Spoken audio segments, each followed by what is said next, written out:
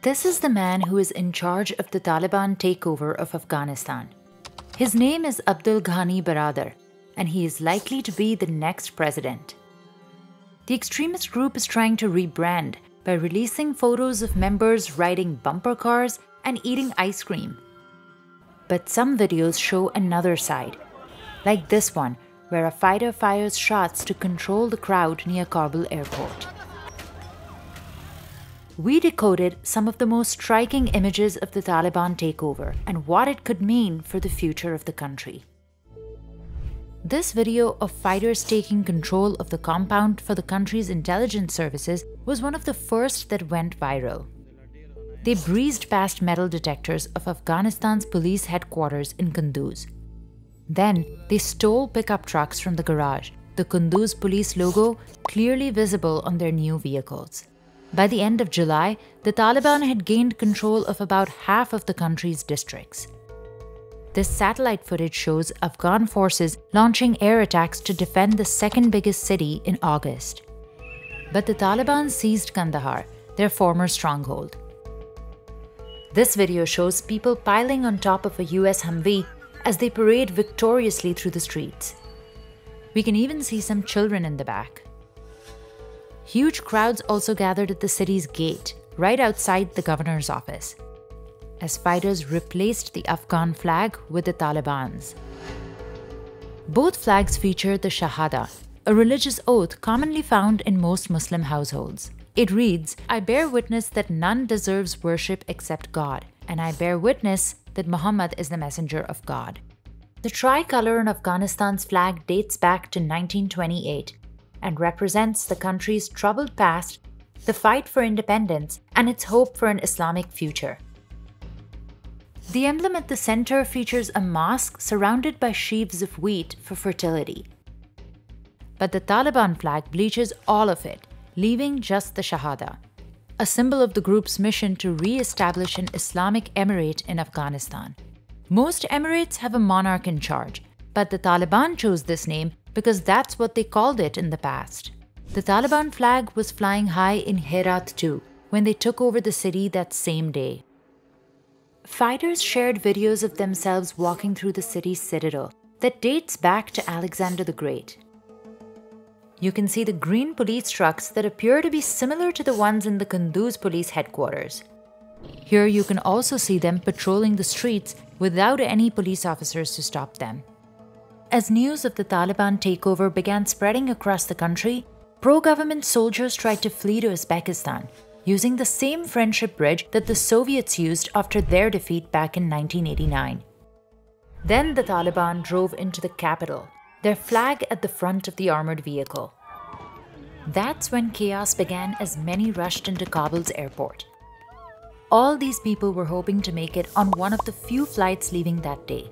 Dozens piled onto the stairs, hoping to get inside a plane. And this might be the video we remember the most at the end of America's longest running war. A US Air Force jet races to leave Afghanistan in the middle of a tarmac packed with hundreds of civilians.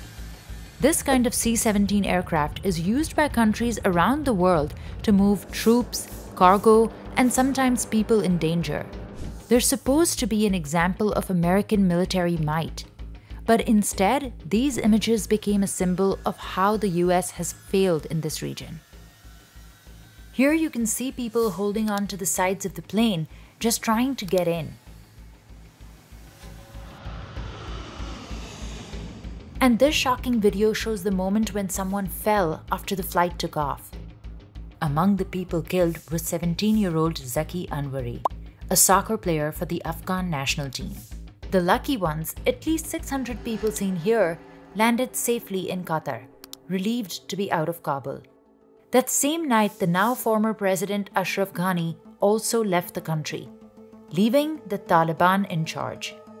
After that, we saw stunning moments like this one the presidential palace taken over by the Taliban. Elsewhere in the building, Taliban members, along with their many weapons, filled conference rooms, once occupied by top government officials. And this video shows the very end of the Afghan civilian government. Fighters unhook the Afghan national flag, they roll it up, and they set it aside. In the middle of all the chaos, the Taliban hosted their first press conference, led by the group's spokesperson Zabiullah Mujahid. باید یادآور شم که ما خو امر عفو قرار میدیم این را به نفع صلح و ثبات در افغانستان میدانیم تمام جهت های مقابل همراه ما در مقابل بودن از الف تا یا همه عفو هستند And now, after months of waging a military campaign, we're seeing a different side of the Taliban through carefully crafted social media images released by the group. Fighters pose for the camera with their ice creams. one video shows them driving around in bumper cars, their guns also along for the ride. In another video, some of them ride a merry-go-round at an amusement park in Kabul. And back in the palace, a few Taliban fighters hit the gym as they take a break from carrying their weapons. All of these surreal scenes are an attempt to show the more human side of the Taliban. But some of the videos are a reminder of the Taliban's oppressive past, as they gathered all the ammo, bulletproof vests, and guns civilians have in their homes. Now they're releasing propaganda videos mocking Washington for its defeat. As fighters dress up in the billions of dollars worth of weapons and gear the US left behind for the Afghan military. They're calling themselves the Badri 313 Brigade. The name refers to the Battle of Badr, where Prophet Muhammad led a victorious army of 313 men. These videos are produced by the Taliban's media unit called Manba al Jihad, which means source of jihad. It's run by the Haqqani Network, an insurgent group now also part of the Taliban. The logo seems to copy the style of Al Jazeera and some ISIS channels. This one shows a fighter with an assault rifle and a bulletproof vest.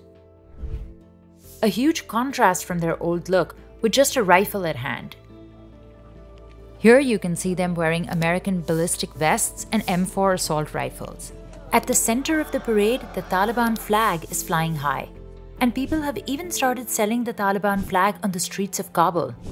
But others refuse to give up.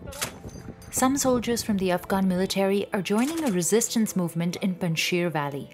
They are rallying behind Ahmad Massoud, the son of the famous Afghan military leader who fought against the Soviets.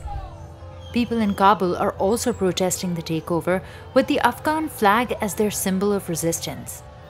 That was also what protesters in Jalalabad were holding on to before Taliban militants fired into the crowd. But a lot of people in Afghanistan are showing that they're desperate to escape the Taliban as they keep searching for a way out, even if it's just their babies who make it to safety.